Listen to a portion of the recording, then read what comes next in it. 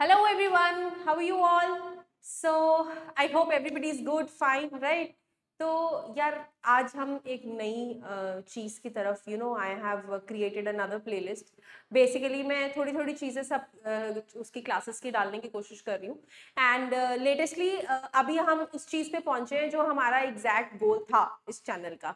uh, हमने discuss किया था that I would be starting and reaching up till class eleven twelfth okay we will be starting about zoology we'll be starting about botany तो यहीं पर मैं लेकर आई हूँ क्लास इलेवेंथ का कंटेंट एंड एक चीज़ मैंने रियलाइज़ की है यार अभी अभी नीट होकर हटा है 2024 सो मेजॉरिटी जो क्वेश्चंस हमारे कवर हुए हैं बायोलॉजी के वो कवर हुए हैं एनसीईआरटी e से। वैसे तो ये ट्रेंड बहुत टाइम से है कि teachers have been continuously saying their students कि फोकस ऑन एनसीईआरटी एनसीईआरटी को अच्छे से करो सारे क्वेश्चंस अपने आप निकल आएँगे।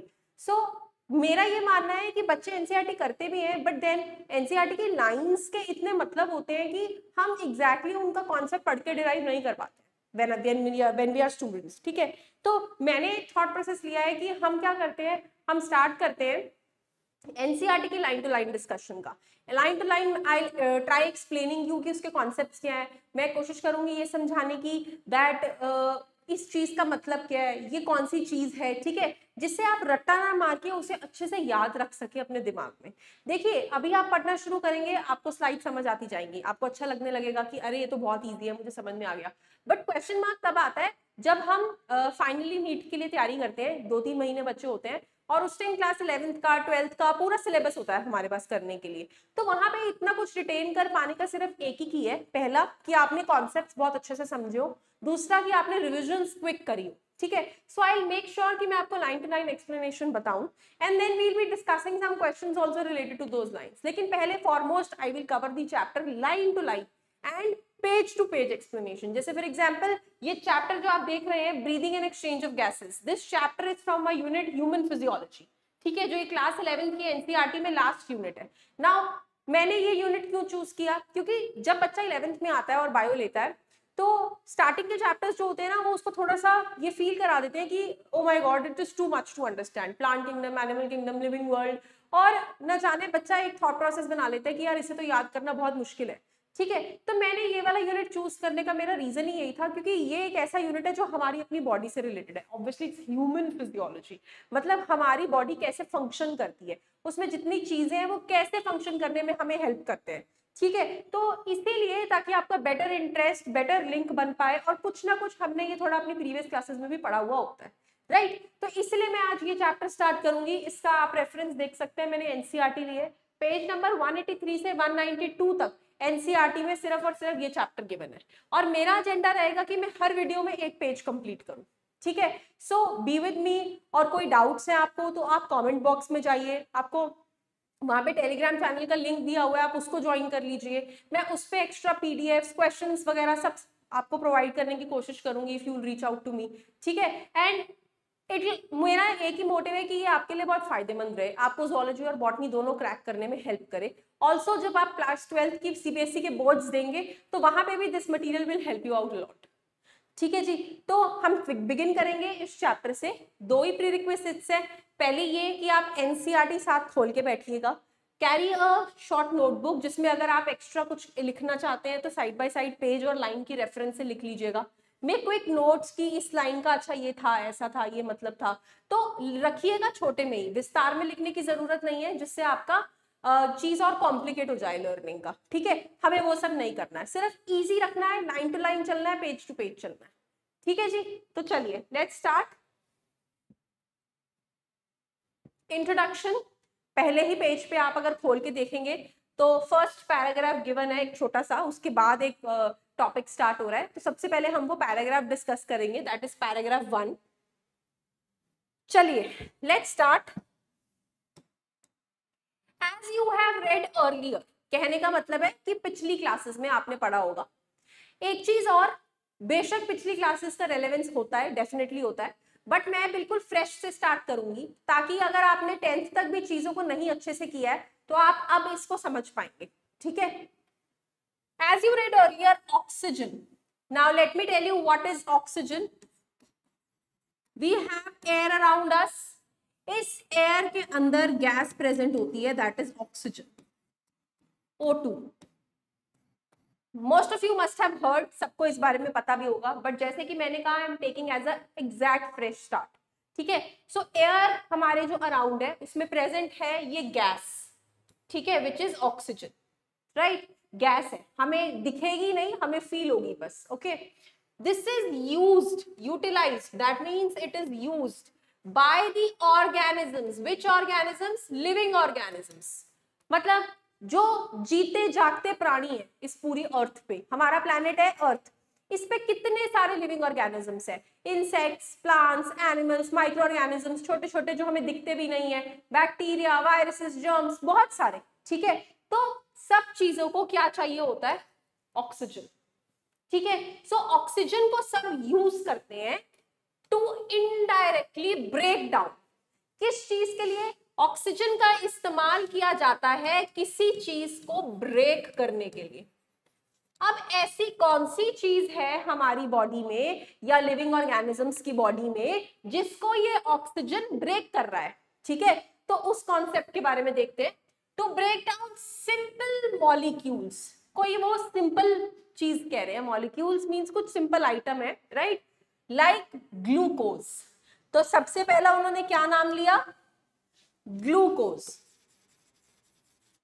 दूसरा नाम ले रहे हैं वो अमाइनो एसिड्स तीसरा नाम वो ले रहे हैं फैटी एसिड्स आप में से काफ़ी लोगों को पता होगा, क्योंकि टेंथ के लाइफ प्रोसेसेस चैप्टर के न्यूट्रिशन एंड ह्यूमन बींग्स में ये कराया गया था. बट एज आई सेड मैं उस रेफरेंस को नहीं लूँगी कि आपने पहले पढ़ा है कि नहीं पढ़ा. तो अगर हम फ्रेशली देखें, ये है क्या? इसको समझने के लिए एक छोटी सी चीज़ का ध्यान रखते हैं फ़ूड हम सभी लोग खाना खाते हैं वी ऑल ईट फ़ूड इस खाने के अंदर बहुत से न्यूट्रिएंट्स होते हैं, जैसे कार्बोहाइड्रेट्स जैसे प्रोटीन्स जैसे फैट्स जैसे वाइटामिन्स मिनरल्स ठीक है? क्लास इलेवेंथ में है आप लोग। डेफिनेटली कभी ना कभी आपको ये चीज़ आपकी लाइफ में सुनने में आई होगी दैट हमारे खाने में बहुत अच्छे अच्छे न्यूट्रिएंट्स होते हैं। ये भी सुनने में आया होगा कि जंक फ़ूड मत खाओ वो हेल्दी नहीं होता क्योंकि उसके अंदर अच्छे न्यूट्रिएंट्स नहीं होते। सो so, क्या है? किन न्यूट्रिएंट्स की बात हो रही है? इनकी carbohydrate proteins fats vitamin minerals ये सब मिलके हमारी बॉडी को हेल्दी रखते हैं। ठीक है? अब आप सोचेंगे कि मैं ग्लूकोज अमाइनो एसिड और फैटी एसिड्स के डिस्कशन में फ़ूड के कंपोनेंट्स को क्यों इन्वॉल्व कर रही हूँ? करेक्ट तो लेट मी टेल यू हम खाना खाते हैं। Not only us the other living organisms also consume food खाना अंदर बॉडी में जाके ब्रेक डाउन होता है। क्यों ब्रेक डाउन होता है? क्योंकि खाना कॉम्प्लेक्स फॉर्म में प्रेजेंट होता है। Now what is complex form I am using a word these are the complex form of food complex का मतलब ये है कि काफ़ी सारी चीज़ें इकट्ठे होके इनको बना रही है। ठीक है? तो सारी चीज़ें इकट्ठी है और ये चीज़ बन रही है। राइट हम क्या करते हैं? जैसी वो खाना हमारी बॉडी में जाता है, उस कॉम्प्लेक्स को हम तोड़ने की कोशिश करते हैं सिंपलर फ़ूड में। क्यों? ऐसा क्यों है कि हमें उसे तोड़ने की नीड है? क्योंकि हमें उस खाने से एनर्जी चाहिए। हमें उस खाने को तोड़ना पड़ेगा उस चीज़ से एनर्जी ड्राइव करने के लिए। तो वही हम कर रहे हैं। हमने सबसे पहले कॉम्प्लेक्स फ़ूड को सिंपलर फ़ूड में ब्रेक डाउन कर दिया। ठीक है? अब हर किसी की एक सिंपल फॉर्म होती है राइट फॉर एग्ज़ाम्पल मैं आपसे अगर बात करूँ तो आपने पक्का ये बात सुनी होगी कि ये बेसिक बुक है और मैथ्स टेंथ की बात करते हैं। टेंथ में मैथ मैथमेटिक्स एनसीईआरटी से आप लोग पढ़ते हैं। और आप एक रेफरेंस बुक लेते हैं एनसीईआरटी वो आर डी शर्मा और कहते हैं कि ये इससे ज़्यादा हम ये भी पढ़ेंगे, हम ये भी पढ़ेंगे। ऐसे करते हैं कि पहले बेसिक एनसीईआरटी कवर करके अगर एक्स्ट्रा एडवांस क्वेश्चन करने हैं तो इस एक्स्ट्रा बुक से कर लेते हैं। बहुत सारी किताबें आती है, हम मैंने तो एक रैंडमली नाम ले दिया। ठीक है? तो वही यहाँ पे है राइट वो कॉम्प्लेक्स क्या है? आर डी शर्मा और वो सिंपल क्या है? एनसीईआरटी तो हमने उसका सिंपल बुक फॉर्म लिया सिंपल उसको तोड़ दिया। अब उस सिंपल खाने पे कौन एक्ट करेगा? ऑक्सीजन क्योंकि ऑक्सीजन के लिए एक सिंपलर चीज़ पे आके एक्ट करना इज़ इजी रादर देन कि वो एक कॉम्प्लेक्स फ़ूड के पीछे, उसको टाइम कंज्यूम होगा। इतना टाइम हमारी बॉडी देती नहीं है, ठीक है? सो ऑक्सीजन किस पे एक्ट करता है? सिंपलर फ़ूड आइटम्स पे. तो सिंपलर फ़ूड आइटम ग्लूकोज जो कार्बोहाइड्रेट्स टूटते हैं, वो क्या बनाते हैं? ग्लूकोज ठीक है? अमीनो एसिड किससे बनते हैं? प्रोटीन्स प्रोटीन्स टूटकर अमाइनो एसिड बनाते हैं। और फैटी एसिड्स किससे बनते हैं? फैट से। अब आप समझे कि मैंने फ़ूड से क्यों लिंक किया था इस चीज़ को। ठीक है, फ़ूड के ही ये कॉम्प्लेक्स कॉम्पोनेंट्स है, जो सिंपल कॉम्पोनेंट्स में टूटते हैं। ये तीन तरह के सिंपल कॉम्पोनेंट्स हो गए फ़ूड के दीज थ्री ठीक है, और ये सिंपल कॉम्पोनेंट्स के ऊपर कौन एक्ट करता है? ऑक्सीजन तो oxygen will break down these simple molecules इनको ब्रेक डाउन करेगा जो ऊपर लिखा हुआ है। ठीक है? और इनको कहा गया है simple molecules of food sentence के हिसाब से। आई होप आपको ये बात समझ में आई है। If not again I told you कि कमेंट्स पे टाइप करके पूछिएगा। ठीक है? हमें क्या मिलती है उससे? एनर्जी अभी मैंने आपको ये चीज़ समझाई। कि जो हमारा ऑक्सीजन है, वो इस सिंपलर फ़ूड मॉलिक्यूल्स पे एक्ट करता है और क्या रिलीज़ करता है? Energy to perform various activities of our body ठीक है? तो वेरियस एक्टिविटीज़ परफॉर्म होती है इस प्रोसेस से। ये प्रोसेस होता क्या है? सिंपल फ़ूड मॉलिक्यूल्स कुछ भी हो सकते हैं। Glucose amino acid fatty acids anything किसके साथ मिलते हैं? ऑक्सीजन के साथ। और ब्रेक डाउन करते हैं एनर्जी में।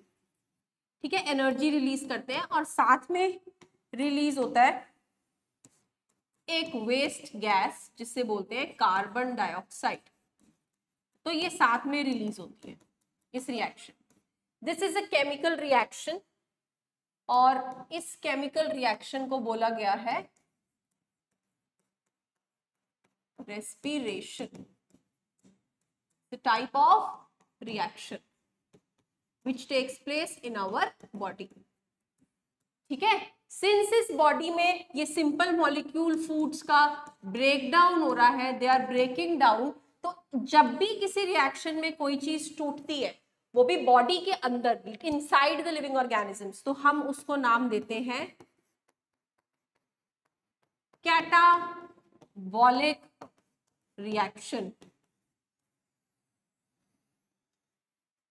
ठीक है? और कहीं पे जब दो चीज़ें जुड़कर कुछ बना रही होती हैं तो वहाँ पे हम उसको एनाबॉलिक रिएक्शन के नाम से जानते हैं। ठीक है? तो सिंपल फ़ूड मॉलिक्यूल्स ऑक्सीजन की मदद से टूट रहे हैं एनर्जी देने के लिए और साथ में एक गैस छोड़ रहे हैं that is carbon dioxide this process is known as respiration और ये एक कैटाबॉलिक रिएक्शन है। ठीक है? तो ये हमारी फ़र्स्ट लाइन ने बताया था। जो एक्स्ट्रा मैंने आपको दो चीज़ें बताई है, वो इसमें कवर हो जा रही है कि कार्बन डाइऑक्साइड गैस रिलीज़ हो रही है, अभी पढ़ा हमने विच इज़ हार्मफुल जो कि हार्मफुल है and it is also release during the above catabolic reaction जो रिएक्शन मैंने आपको पिछली स्लाइड में पढ़ाया, उसी रिएक्शन को ये कैटाबॉलिक रिएक्शन कह रहे हैं, और उसमें क्या रिलीज़ हो रही है? कार्बन डाइऑक्साइड जो हार्मफुल ठीक है? ये बात आपको याद रखनी है। Oxygen is useful for us carbon dioxide is harmful for us I hope पहली दो लाइन सबको क्लियर है. Moving further it is therefore evident that oxygen has to be continuously provided to the cells. वो कह रहे हैं कि एक चीज़ एविडेंट है कि हमें ऑक्सीजन को continuously all these arrow means continuously provide करना पड़ता है किसको? बॉडी के सेल्स को. अब हो सकता है कि किसी को ये ना पता हो कि सेल्स क्या होते हैं। तो लेट मी टेल यू हर लिविंग ऑर्गेनिज्म एक सबसे छोटी चीज़ से बनना स्टार्ट होता है। कहीं से तो वो बनना शुरू होता है।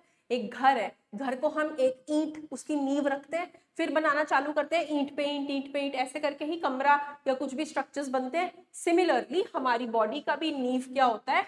अ सेल ठीक है? और ये सभी सेल्स मिलके बॉडी बनाते हैं। So that is why we call as body cells तो ये रिएक्शन जो मैंने आपको बताया था दिस रिएक्शन ये it takes place inside every cell ये हर सेल के अंदर होता है। ठीक है? तो इसीलिए ऑक्सीजन का हर बॉडी सेल तक जाना ज़रूरी है, ताकि वो एनर्जी रिलीज़ करने वाला कैटाबॉलिक रिएक्शन करवा सके। And carbon dioxide produce by the cell has to be released out मैंने आपको बताया पिछली स्लाइड में कि कार्बन डाइऑक्साइड हमारे लिए हार्मफुल है। अगर कार्बन डाइऑक्साइड हमारी बॉडी के लिए हार्मफुल है तो ये ज़रूरी हो जाएगा उसको out of the body throw करना। ठीक है? तो जैसे ही ऑक्सीजन बॉडी सेल्स के पास जाता रहता है कार्बन डाइऑक्साइड बॉडी सेल से बाहर निकलता रहता है। It keeps coming out and goes outside the body okay यही लिखा है इसमें। दिस प्रोसेस ये जो प्रोसेस है एयर में से ऑक्सीजन बॉडी के अंदर लेने का और बॉडी से कार्बन डाइऑक्साइड एयर को बाहर देने का। ठीक है? This process of exchange of oxygen from the atmosphere air से ही लिया ना हमने एटमॉस्फेयर विथ कार्बन डाइऑक्साइड किससे एक्सचेंज किया? है CO2 से। जो कहा प्रोड्यूस हुई है? सेल्स के अंदर। Produced by the cells is called breathing उसको क्या बोला गया है? Breathing commonly known as respiration ठीक है? तो इस प्रोसेस को हमने क्या नाम दिया है?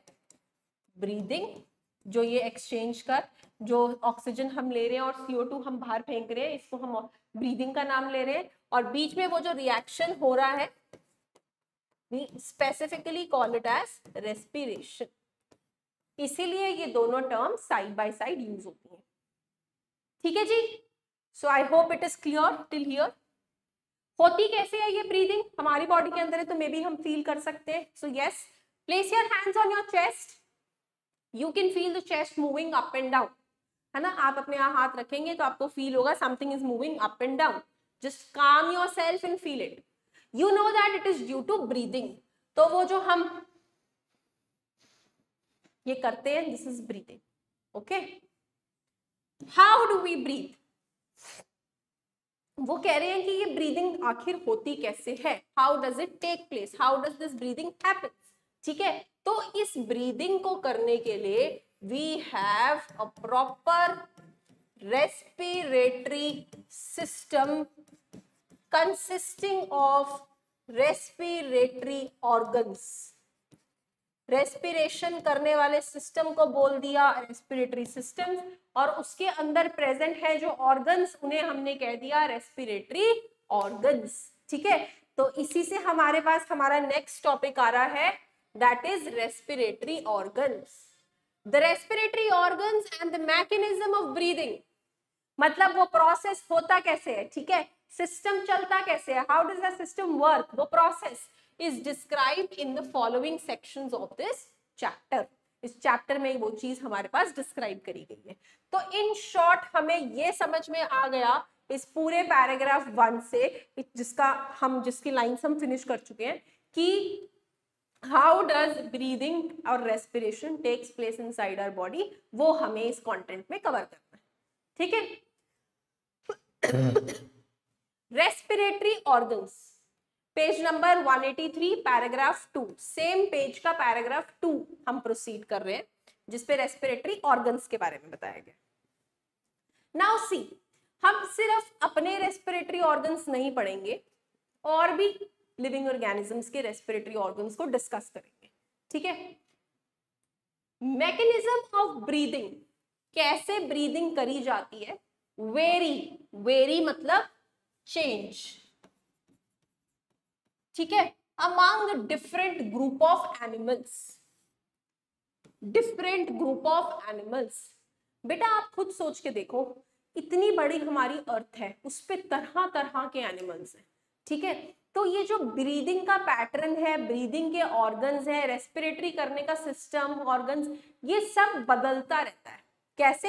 एनिमल टू एनिमल कि कैसे वो एनिमल्स हैं। डिपेंडिंग किस पे डिपेंड करते हैं? Depending mainly on their habitat मतलब कि वो कहाँ रहते हैं? वो ज़मीन पे रहते हैं, वो पानी में रहते हैं, वो हवा में रहते हैं, वो कहाँ रहते हैं? ठीक है? उनके ऊपर डिपेंड करता है habitat that is place where they live ठीक है? एंड लेवल्स ऑफ़ ऑर्गेनाइजेशन मतलब वो कितने सिंपल है, कितने कॉम्प्लेक्स है। जैसे हम ह्यूमंस तो कॉम्प्लेक्स है। सेल्स टिश्यूज ऑर्गन्स न जाने क्या क्या है हमारी बॉडी में। पूरी कॉम्प्लेक्स बॉडी है। लेकिन कुछ ऑर्गेनिज्म सिंपल भी होते हैं अमीबा के जैसे। कुछ नहीं है, बस एक सेल है। पक्का सुना होगा आपने इसके बारे में। ठीक है simple organism consist of only one cell ठीक है तो ऐसे भी बहुत सारे ऑर्गेनिजम्स हैं। तो हम उनकी लेवल ऑफ़ ऑर्गेनाइजेशन कि वो सिंपल है या कॉम्प्लेक्स है एंड ऑल्सो वो कहाँ रहते हैं। इस पे द ब्रीदिंग पैटर्न वेरी ठीक है? अब इस पे आसानी से ये एमसीक्यू बनाया जा सकता है। क्या?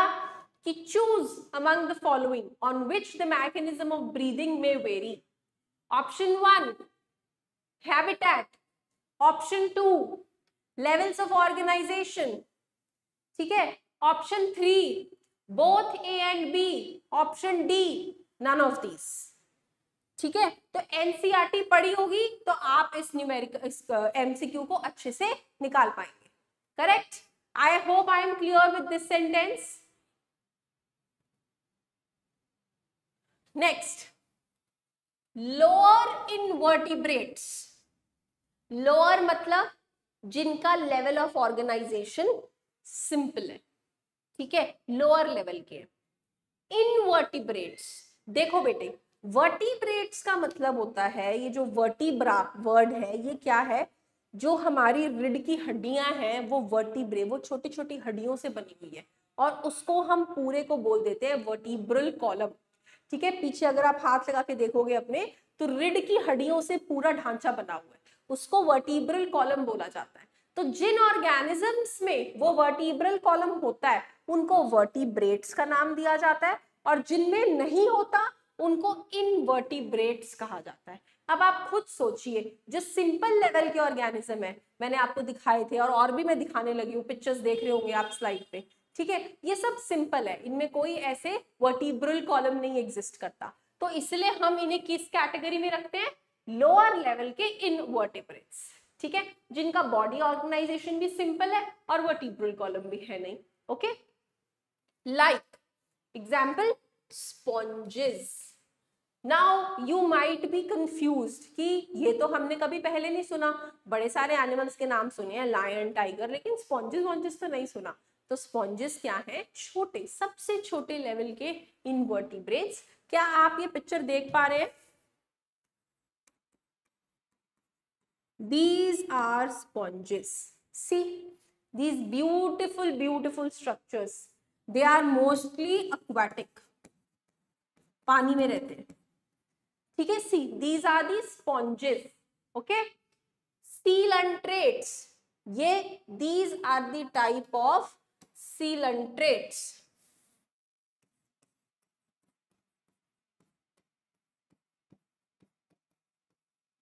ठीक है? These also mostly live in aquatic habitat पानी में।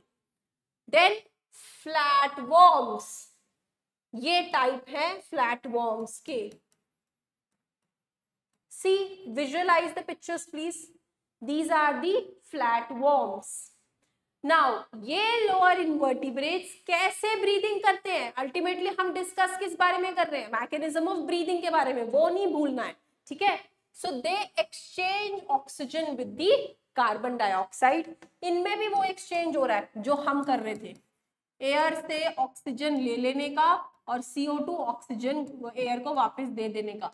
ये काम ये भी कर रहे हैं, ठीक है? लेकिन by simple diffusion over their entire body surface ठीक है? ये किससे कर रहे हैं वो? This this is occurring over their body surface मतलब कि कोई रेस्पिरेटरी सिस्टम नहीं, कोई रेस्पिरेटरी ऑर्गन नहीं सिंपल बॉडी के सरफेस में ऑक्सीजन को लिया सीओ को बाहर फेंक दिया। ठीक है? कौन से मेथड से? बाय सिंपल डिफ्यूजन जिसको नहीं पता है let me tell you what is simple diffusion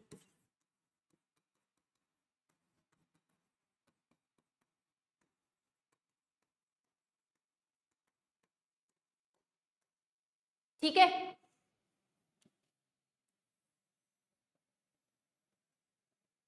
से फॉर एग्ज़ाम्पल ये है हमारा कोई फ्लैट वॉर्म ठीक है? एग्ज़ाम्पल लिया मैंने this is some flatworm right अब ये इसका बॉडी सरफेस है. ये इसका बॉडी सरफेस है सारा. ठीक है ना? ये येलो येलो सब इसका बॉडी सरफेस है. अब ये इस बॉडी सरफेस से ही ऑक्सीजन को अंदर ले लेगा. क्यों ऐसे कैसे ऑक्सीजन इसके अंदर आ जाएगा? क्योंकि बाहर क्या है? एयर या फिर वाटर जहाँ पर भी ये रहते हैं, ठीक है? और उसके अंदर ऑक्सीजन है।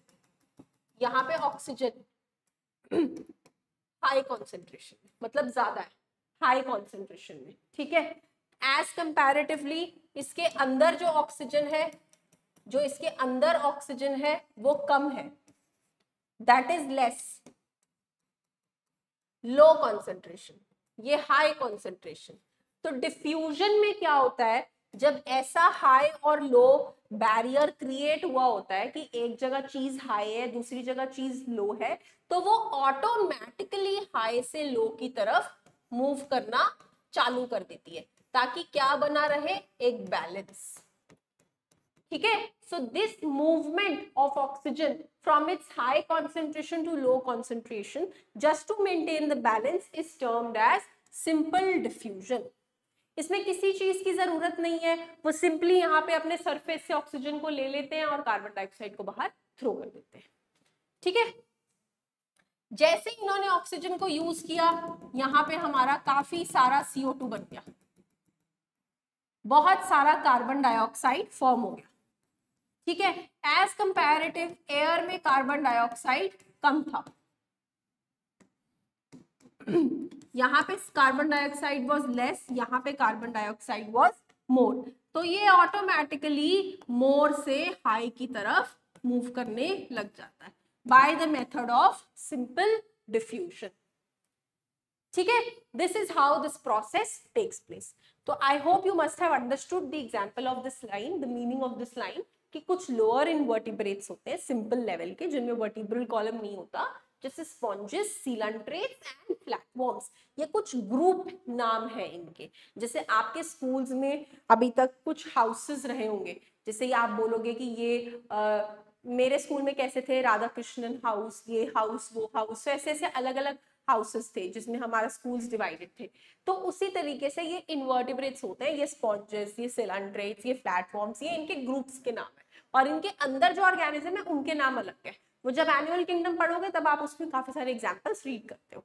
ठीक है? अब क्वेश्चन कैसे आ सकता है? क्वेश्चन बहुत सारे तरीकों से आ सकता है। जैसे फॉर एग्ज़ाम्पल वो आपको किसी स्पॉन्जेस का नाम देते ठीक है? क्योंकि जब आप नीट करोगे, तब आपने एनिमल किंगडम भी पढ़ा हुआ होगा। तो वो किसी स्पॉन्ज का नाम लिख देंगे and they will write down this sponge और some name of this sponge breathes by the mechanism of option A diffusion option B gills option C lungs D none of these तो वहाँ पे आप नाम देख के कंफ्यूज नहीं होएगा ठीक है? वहाँ आप ये याद रखिएगा कि ये स्पॉन्जेस की कैटेगरी में आते थे और हमने पढ़ा था कि स्पॉन्जेस जैसे ऑर्गेनिजम्स कैसे ब्रीथ करते हैं via the process of diffusion इस तरीके से क्वेश्चन फ्रेम होता है। ठीक है जी? चलिए, आगे पढ़ते। नेक्स्ट लाइन अर्थ वॉर्म्स ये नेक्स्ट कैटेगरी है। सबसे पहली कैटेगरी हमने कौन सी पढ़ी थी? सबसे पहले कैटेगरी हमने पढ़ी स्पॉन्जेस। फिर हमने पढ़े सीलंट्रेट्स उसके बाद हमने पढ़े फ्लैट बॉम्ब्स। नेक्स्ट हम किसकी बात कर रहे हैं? अर्थ वॉर्म ठीक है, देखो वो कितने सारे ऑर्गेनिजम्स के इंटरेस्ट की बात कर रहा है। नाउ एनालिड्स अर्थवॉर्म्स किसके ग्रुप के अंदर आते हैं? बेटे अर्थवॉर्म ना एक्चुअली ऑर्गेनिज्म का नाम है। तो मैं यहाँ पे एनालिड्स लिख देती हूँ। दीज एनालिड्स इंक्लूड अर्थवॉर्म जो मैंने आपको बताया ग्रुप और ग्रुप में बच्चे। ठीक है? फॉर एग्ज़ाम्पल ये पाँच बच्चों के ग्रुप का नाम है राधा कृष्णन तो ये राधा कृष्णन ग्रुप के पाँच बच्चे हैं। X Y Z A B X Y Z ठीक है? तो राधा कृष्णन कौन है? एनालिड्स और ए कौन है? अर्थ ऐसे करके, ठीक है? They use their moist cuticle तो ये है हमारा अर्थवॉर्म इस फिगर को ध्यान से देखिए दिस इज़ एन अर्थवॉर्म अब इसकी स्किन के ऊपर क्यूटिकल होती है। क्यूटिकल एक लेयर है। इसकी स्किन के ऊपर ऐसे एक वाटरी सी, थोड़ी सी चिपचिपी सी मॉइस्ट मॉइस्ट लेयर होती है। जिसको हम क्या बोलते हैं? जिसको हम कहते हैं क्यूटिकल मॉइस्ट होती है। उसका नेचर होता है कि वो मॉइस्ट होती है। थोड़ी थोड़ी पानी पानी जैसे थोड़ी थोड़ी स्लिपरी मॉइस्ट क्यूटिकल तो ये उस मॉइस्ट क्यूटिकल का इस्तेमाल करता है ब्रीदिंग के लिए। तो मतलब वो जो हमारा इनटेक था ऑक्सीजन वो किसके थ्रू जा रहा है? मॉइस्ट क्यूटिकल के थ्रू और ये क्या रिलीज़ कर रहा है बाहर? CO2 किसके केस में? अर्थवॉर्म के केस में। ठीक है? तो अर्थवॉर्म जो एनिलिड ग्रुप का मेंबर है, वो मॉइस्ट क्यूटिकल के थ्रू अपना ये एक्सचेंज कर रहा है। एंड इंसेक्ट जो आर्थ्रोपोड्स के अंदर आते हैं। ठीक है? देर आर सम इंसेक्ट्स जो आर्थ्रोपोड ग्रुप्स के अंदर आते हैं। आर्थ्रोपोड्स जिसमें कुछ इंसेक्ट्स इंक्लूड होते हैं। They have a network of tubes that is known as tracheal tubes तो ये जो आपको दिख रही हैं, ये देखिए इस डायग्राम में दीज दीज ट्यूब्स दीज इनको बोला जाता है ट्रेकियल ट्यूब्स ठीक है? These have a network of tracheal tubes to transport atmospheric air within the body. मतलब ये जो ऑक्सीजन था, इन्होंने ले लिया और अब इस ऑक्सीजन को ये बॉडी के थ्रू मूव कराता है। ठीक है? और जहाँ जहाँ बॉडी में ज़रूरत होती है, वहाँ वहाँ सप्लाई देता है। So these such insects have tracheal tubes to transport atmospheric air within the body ठीक है जी? सब कुछ आपकी बुक में मेंशनड है। सिर्फ़ मैंने उसका मतलब समझाया आपको। Then special vascularized structures called gills कुछ स्पेशल स्ट्रक्चर्स होते हैं, ठीक है? जिन्हें हम गिल्स का नाम देते हैं। ये रही जी फ़िश और ये रे इसके गिल्स दीज आर गिल्स इस शेप के होते हैं, ऐसे दिखाई देते हैं गिल्स ठीक है? ये करते हैं ब्रेंकियल रेस्पिरेशन इसकी रेस्पिरेशन को हम क्या नाम देते हैं? दीज गिल्स की से हुई रेस्पिरेशन का नाम होता है branchial respiration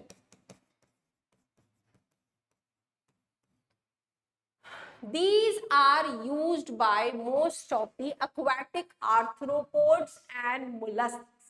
तो अगले ग्रुप्स कौन से हमारे आर्थ्रोपोड्स तो हमने लिखा भी था। अक्वाटिक जो पानी में रहते हैं आर्थ्रोपोड्स और पानी में रहने वाले मोलस्क ठीक है? वो इस्तेमाल करते हैं इन गिल्स का। तो स्पेशल वैक्सुलर स्ट्रक्चर कॉल्ड गिल्स जिनकी गिल्स से हुई रेस्पिरेशन का नाम ब्रेंकियल रेस्पिरेशन होता है these are used by most of the aquatic arthropods and mollusks. ठीक है? अब इस नाम को लेके कंफ्यूज नहीं होना है कि अभी तक तो हम रेस्पिरेशन पढ़ रहे थे कि ब्रैंकियल रेस्पिरेशन क्या आ गया। ऐसा नहीं कंफ्यूज होना है। ठीक है? नॉर्मली हम बात करते हैं कि एक स्कूल में फॉर एग्ज़ाम्पल क्लास टेंथ के फाइव सेक्शंस हैं। ठीक है? और पाँचों सेक्शंस के नाम अलग अलग हैं। Class tenth lotus class tenth lily class tenth rose ठीक है? लेकिन है तो क्या है वो? सेक्शंस है ना, उनका सिर्फ़ नाम अलग पड़ गया।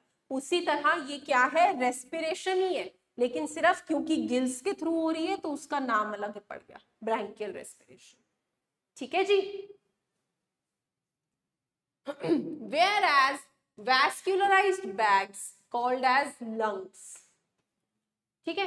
Before I move with this vascularized bag like structure बेटा ये जो फ़ोटो है ना, ये एक मोलस्क की है। This is a type of mollusc देख लीजिए this is the type of mollusc also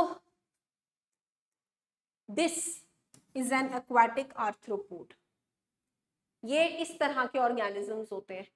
ठीक है? और इसमें क्या यूज़ होते हैं? फॉर रेस्पिरेशन गिल्स हमारी एनसीआरटी e हमें बता रही है कि इसमें क्या यूज़ होते हैं for respiration gills right but vascularize bags called lungs और लंग्स के थ्रू होने वाली रेस्पिरेशन को क्या बोला जाता है?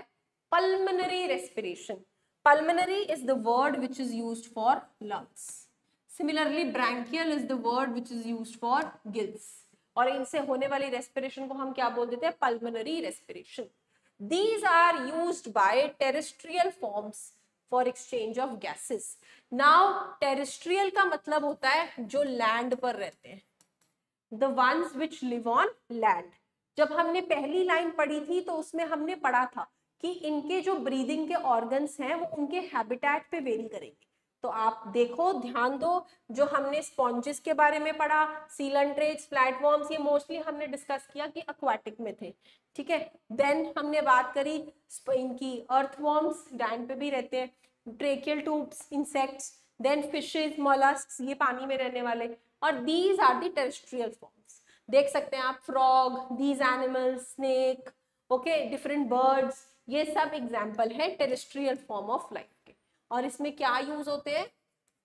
लंग्स लंग्स से होने वाली रेस्पिरेशन पल्मनरी ये ब्रीफ था। ठीक है जी? अमंग वर्टिब्रेट्स अब ये किसकी बात कर रहे हैं? वर्टिब्रेट्स की। सबसे पहले में हमने किसकी बात की थी? इनवर्टिब्रेट्स की। Some vertebrates like fishes use gills ये फिशेस क्या यूज़ करती हैं? Gills Whereas amphibians, reptiles, birds, mammals, they all respire through lungs. Okay, this is the category of an amphibian. Okay, this is the category of a reptile. This is the category of birds. And these are the category of mammals. They all show pulmonary respiration and they respire through lungs. They fall under the category of vertebrates. इन सबको vertebrates का नाम दिया जाता है because they have vertebral column ठीक है so these are the vertebrates